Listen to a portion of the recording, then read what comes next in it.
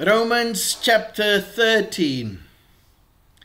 Everyone must submit himself to the governing authorities, for there is no authority except that which God has established.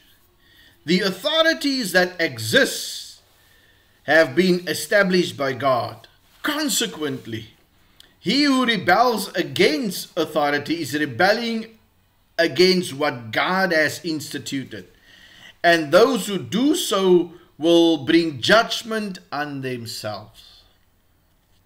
For rulers hold no terror for those who do right, but for those who do wrong.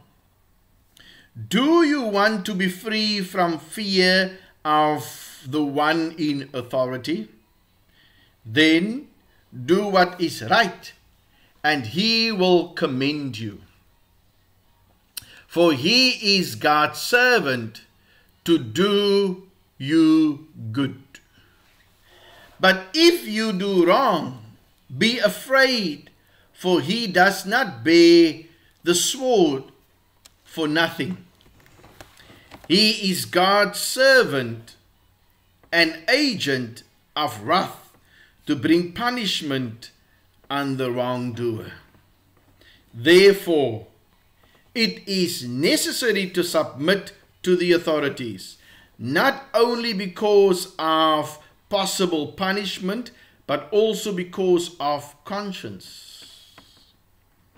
This is also why you pay taxes for the authorities are God's servants who give their full time to governing. Give everyone what you owe him. If you owe taxes, pay taxes. If revenue, then revenue. If respect, then respect. If honor, then honor. Let no debt remain outstanding except the continuing debt to love one another. For he who loves his fellow man has fulfilled the law. The commandments do not commit adultery, do not murder, do not steal, do not covet, and whatever other commandments there may be are summed up in this one rule love your neighbor as yourself. Love does no harm to its neighbor. Therefore, love is the fulfillment of the law. And do this, understanding the present time.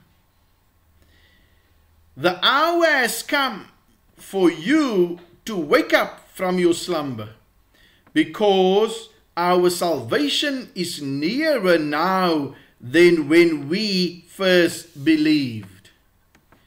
The night is nearly over. The day is almost here. So let us put aside the deeds of darkness and put on the armor of light.